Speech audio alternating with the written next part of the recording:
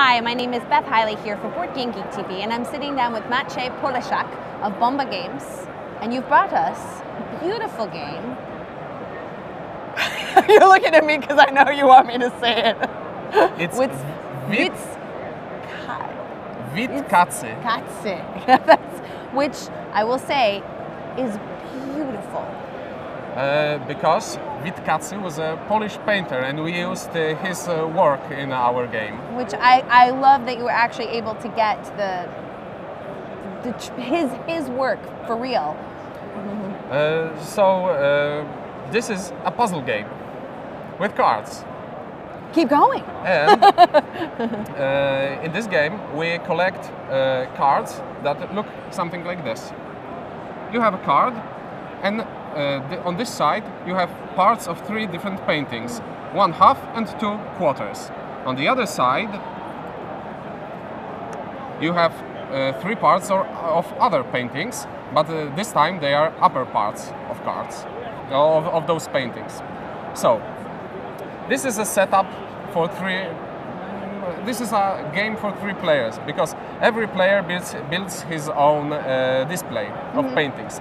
And the object of the game is to collect as many uh, as possible completed paintings. I see. So And- you, you've finished one here in the Yes. middle of your display. And at the end of the game, uh, each painting will be scored, and uh, they will be scored based on their popularity. So the more popular the painting, the more points it, it is worth.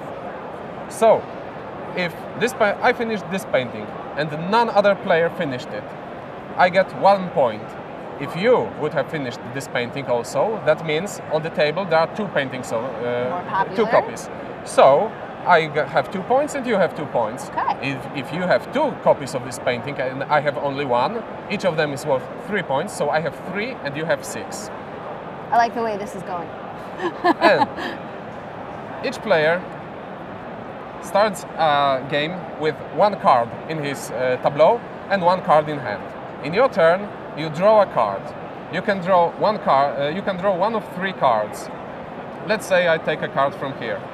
Then this card flips on its place. So I have seen the other side of those two cards, and if I remember them, I have a slight advantage. Slight advantage. If? if if I do not remember them, tough luck. uh, and I also can uh, draw this card, and uh, I didn't see uh, the back of it, so it's a blind luck uh, in this, uh, but not really blind luck because I see this is a lower half, and I see I, I know that the upper halves are on the other side. So you can risk and uh, draw something you like.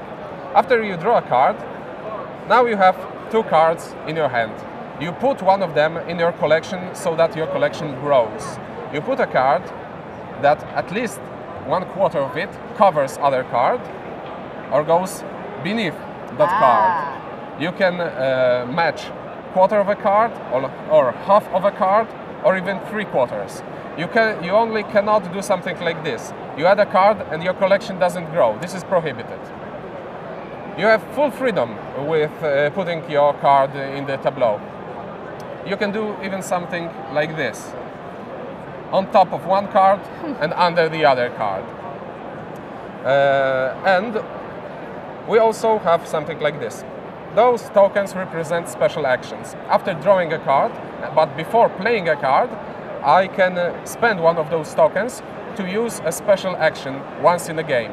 So each of those actions changes uh, the rules of the game uh, a bit. So in one turn in the game, I can draw two cards instead of one. In one turn in the game, I can, I can play two cards instead of one. One time in the game, I can play a card like this without growing my Right. collection. I can even do it like this. Uh, I can uh, put a card in uh, my opponent's uh, display. I can uh, destroy one card, but without destroying the completed picture. So, all in all, it is about looking what other players are doing. Because the more, if one copy of, uh, of let's say, this picture is completed, then it means it is harder to complete another copies. So we um, we compete over the same thing, and we must look all the time for the pictures that our opponents are completing because it really matters. How many different paintings are, are in this game? Uh, there are five paintings, and uh, each of them is uh, each of them has a historical note uh, in uh, our rule. Oh, oh, fantastic! So art lovers are gonna Yes. really love this game. Yes. How long do you think a full game would take? Uh, from I think about uh, 30 minutes. It uh, plays two to uh, four people, and when you are playing a two-player game, uh, there is an advanced rules, uh, advanced uh, placing rules because when I play like this, I can match. I have to match at least a quarter of a card. When I play advanced rules, I have to do something like this. I start with this, and let's say I would like to place this here because it matches. Right. In advanced rules, I have to match at least a half of a card. So I have to sacrifice this card first to make place for the card I really needed. want to play. Yeah. And this is quite tricky. And I'm guessing the game ends when the, Uh, deck game- runs out. uh, we can say that the, the, the game ends uh, where when everyone uh, took the same uh, amount of uh, turns and uh, not, not all cards uh, come into play because you uh, the, one card is left in your hand and uh, in four player games three cards will be left here. All right. Well, I think I, I personally am a huge fan of visiting museums and, and experiencing art, so this one really speaks to me. And so if you guys want to check that out, that is one more time, help me out here. Vit Vit Katze. Katze. Vit Katze from Bomba Games. Thank you so much. Thank you.